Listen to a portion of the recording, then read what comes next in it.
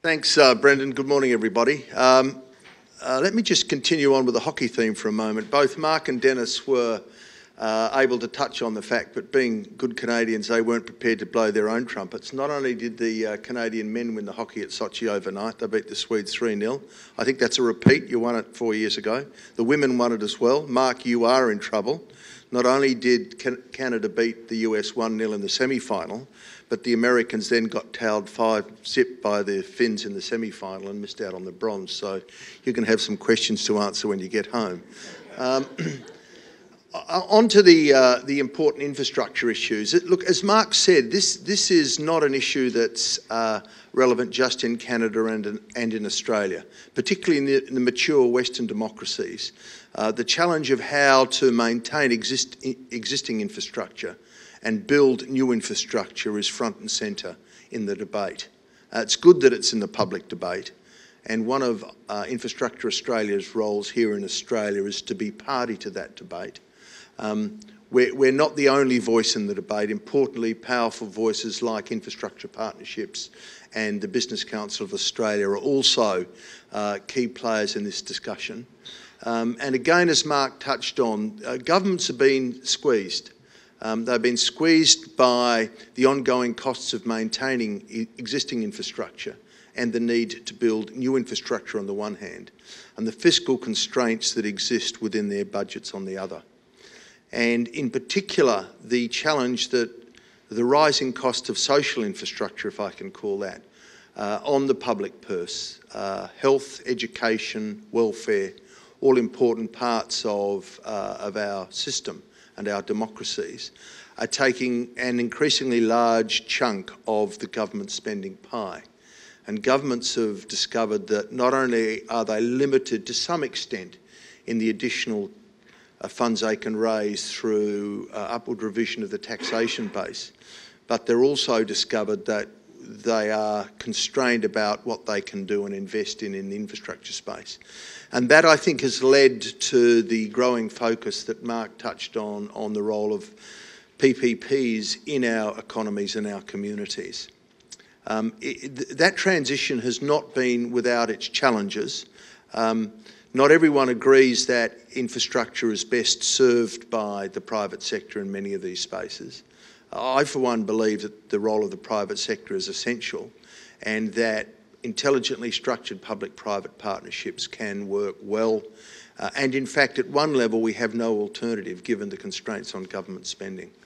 So this is a really important issue, not just here in Canada and, and Australia, but it's, uh, it's an important issue in other big economies. America, Britain and the Eurozone are all facing very similar challenges.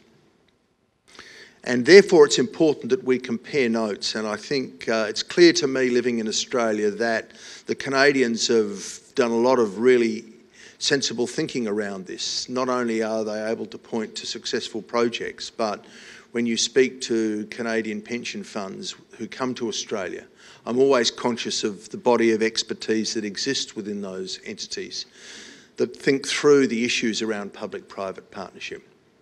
I'm also pleased to see that the Australian equivalents have also devoting an increasing amount of time to the issue. And importantly, that um, the thinking at federal and state level, in my view, has uh, continued to progress. Um, if wearing my Infrastructure Australia hat, I look at the quality of the submissions that the states are now increasingly putting forward to, uh, to Infrastructure Australia. It reflects the improved quality of the work that's being done at state and federal level in this space. And the states themselves take these issues much more seriously. The fact that, uh, for instance, in New South Wales, they recognised they had a long way to go. Uh, they set up Infrastructure New South Wales. Nick Greiner, who I think is in the room, was the inaugural chairman of that and did a fantastic job uh, ensuring that state governments think carefully and hard about the projects uh, because this is not an easy area for government. There is and has been a temptation in Western liberal democracies to uh, pursue projects that are politically rather than economically relevant. The desire to build bridges over puddles and roads to nowhere in marginal electorates is deeply seated in many uh, Western liberal democracies, and to try and move to a much more evidence-based approach to what projects should be uh, should be at the top of the list and why is an important transition, and I believe the states are doing here in Australia are doing a, an increasingly good job at that. Um, Canadian, uh, Canadian interest in projects here is growing, and that too is a good thing. And just as importantly for me, there's the desire to share uh, best practice between our two countries, and that is important as well. Uh, for the Canadian um, funds and, and players in this space who are interested in opportunities in Australia, a couple of things have become clear. One is the growing view that actually the private sector can do a good job running these major pieces of infrastructure, and therefore uh, uh, an interest at state level on effectively raising funds for new projects, in part by selling existing infrastructure. Uh, we've seen a couple of recent examples in the port space where existing infrastructure has been sold to the private sector uh, and that capital importantly recycled into new growing projects. Because there was a time in Australia where, in the early days of PPPs, where the focus at state level was to um, push as much of the risk onto the private sector early on, uh, to take an upfront fee, um, to try and get the private sector to take greenfield and patronage risk uh, and live on a utility rent. And um, there are a couple of uh, major projects here in Australia um, which effectively failed because the assumptions made going into them were overly optimistic. Um, but, and for those who uh, resist the push of PPPs, this was taken as a reason to um, make the point that PPPs don't work. Uh, my view is that the much more intelligent response to that was to learn from those failures, to build those learning into new projects and, and to move forward. And, and uh, my view is, is that's exactly what's happened. So uh, as governments look to sell existing infrastructure and recycle capital, the role of the private sector in those new projects is front and centre. Uh, and it's really important that if we're going to see the quality of the infrastructure continue to grow and improve, that governments and the private sector work closely together. We've got a good construction industry here. Uh, we have governments, I think, that understand the role of the private sector, uh, and therefore we have an opportunity to work together. Um, because Australia has always uh, benefited from uh, the inflow of what I would describe as foreign capital into this country. Australia's, throughout its history since European settlement, in the broad as an economy, has been resource rich and capital poor. We, uh, we've had terrific resources, but we've only really developed them with the inflow of foreign capital. Um, for many years, that capital came primarily from the United Kingdom, and the biggest reservoir of foreign capital in our country today, in fact, is from Britain and that reflects 200 plus years of investment from Britain. Substantial investment from the United States and from Japan, um, and increasingly from other Asian countries. And we now, of course, importantly, add Canada to the list of interested investors in this country. Um, and so, unless Australia remains uh, an attractive destination for foreign capital, um, my view is we won't see the investment in projects, whether they're purely private sector projects or, or PPPs in this country, without a role, an important role for foreign capital. Uh, that's not to underestimate the uh, importance of dom the domestic capital base. Uh, our superannuation funds are increasingly substantive investors in infrastructure in this country. Um, and without that, uh, many of these projects simply wouldn't get off the ground.